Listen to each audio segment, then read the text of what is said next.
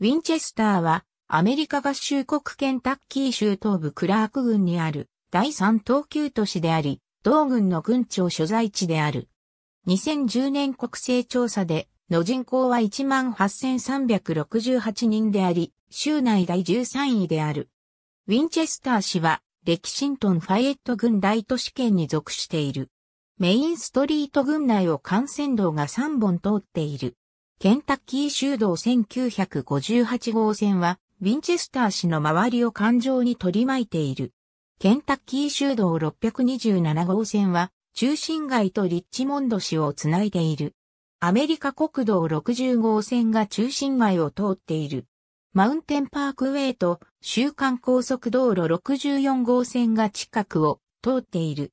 アメリカ合衆国国勢調査局によれば、地域全面積は7.7平方マイルであり、このうち陸地7.6平方マイル、水域は0.04平方マイルで、水域率は0.005%である。この地域の気候は暑く湿気た夏と温暖から冷涼な冬が特徴である。欠片の気候区分では温暖湿潤気候に区分される。以下は2000年の国勢調査による人口統計データである。ウィンチェスター市にはいくつか高等教育機関があった。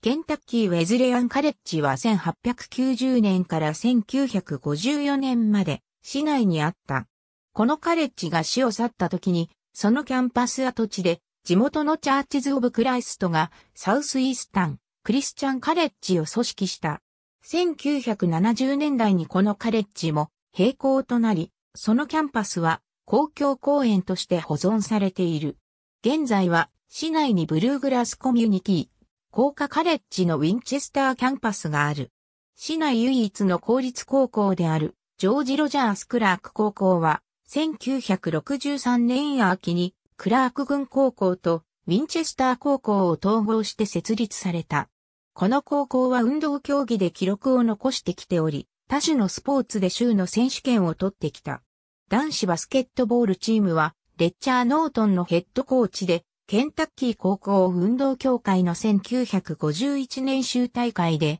優勝した。1991年、フットボールチームがクラスクアット A 州選手権で優勝し、女子陸上競技はクラストリプル A で優勝した。